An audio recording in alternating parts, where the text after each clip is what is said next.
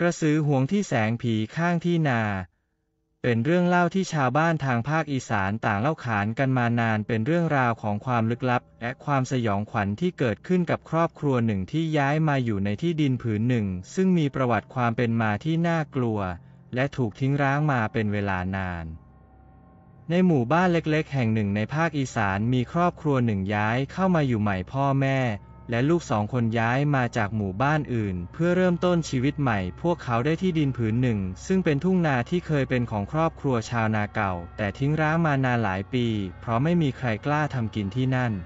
ที่ดินผืนนี้มีประวัติที่น่ากลัวชาวบ้านเล่ากันว่า เจ้าของที่เดิมเคยมีเรื่องบาดหมางกับคนในหมู่บ้านจนกระทั่งวันหนึ่งเขาเสียชีวิตลงในนาข้าวของเขาเองหลังจากนั้นไม่นานก็มีคนเห็นแสงไฟประหลาดลอยไปมาในทุ่งนาบ้างก็ว่า เป็นแสงผีบ้างก็ว่า เป็นกระสือที่มาหากินในยามค่ำคืน ถึงแม้จะมีเรื่องเล่าที่น่ากลัวแต่ครอบครัวนี้ ก็ไม่ได้ใส่ใจพวกเขามีความตั้งใจที่จะทำมาหากิน และสร้างชีวิตใหม่บนที่ดินผืนนี้ พ่อแม่ลงมือไถนาปลูกข้าวด้วยความมุ่งมั่น โดยมีลูกๆคอยช่วยงานตามประษาเด็กเล็ก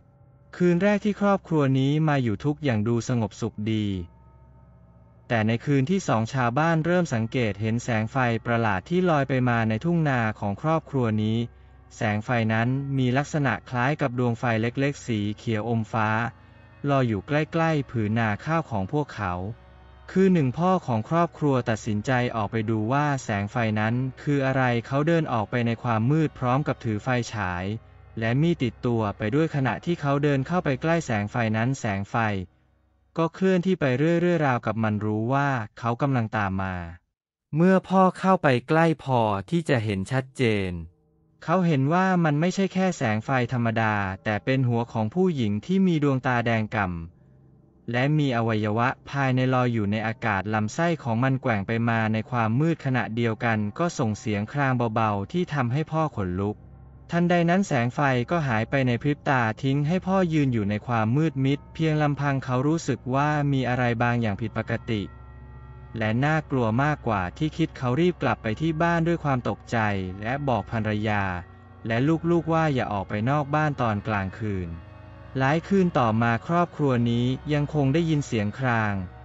และเห็นแสงไฟประหลาดลอยไปมาในทุ่งนาพวกเขารู้ว่า มันไม่ใช่สิ่งที่ธรรมดา แต่เป็นกระสือที่ห่วงที่ของมันไม่ต้องการให้ใครมารุกล้ำ เมื่อความกลัวครอบงำครอบครัวนี้ พวกเขาตัดสินใจไปปรึกษาหลวงพ่อที่วัดหลวงพ่อผู้มีปัญญา และความสามารถทางไสยศาสตร์บอกว่าที่ดินผืนนี้ เคยเป็นของผู้ที่มีความอาฆาตพยาบาท และความห่วงแหนแม้เขาจะตายไปแล้ววิญญาณของเขาก็ยังคงวงเวียนอยู่ในทุ่งนา และอาจกลายเป็นกระสือเพื่อคอยเฝ้าดูแลที่ดินของเขา หลวงพ่อแนะนำให้ครอบครัวนี้ทำบุญอุทิศส่วนกุศลให้กับเจ้าของที่ดินเดิม